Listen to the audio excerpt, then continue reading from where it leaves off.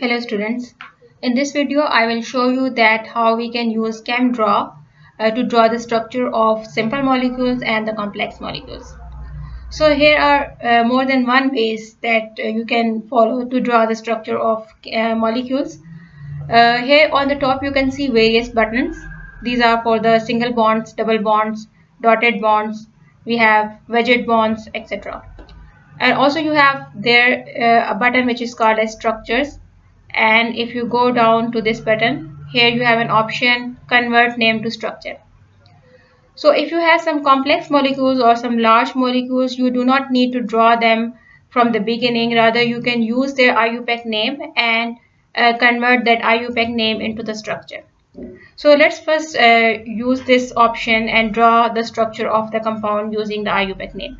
Let's suppose I want to um, draw the structure of phenolphthalein I will click on this option and I will put uh, paste the name of the IUPAC name of the phenolphthalein here or any other compound that I want uh, the structure of that compound.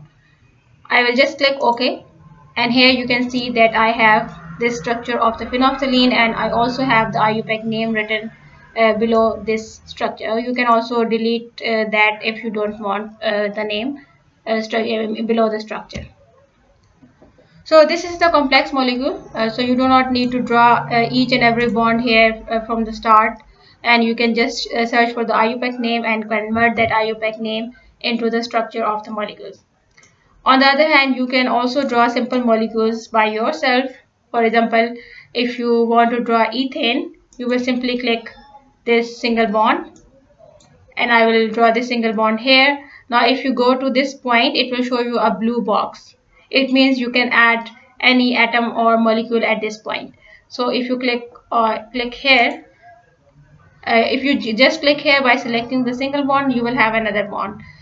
But I don't want this single bond here because I want to draw the structure of ethane so I will so I will click this A here text so that I can write down the atom or the molecule attached to this uh, side of the bond. I'll click on this side and I will write for example C H3 so similarly I will also add CH3 on this side of the bond. That will be CH3 and in this way you can see it's the ethane molecule. If you click on this button on the corner you can select this and move it anywhere on the screen now uh, you can also draw a, a, a, ring structure like cyclohexane or benzene uh, by yourself but there are some of the structures which are already given here.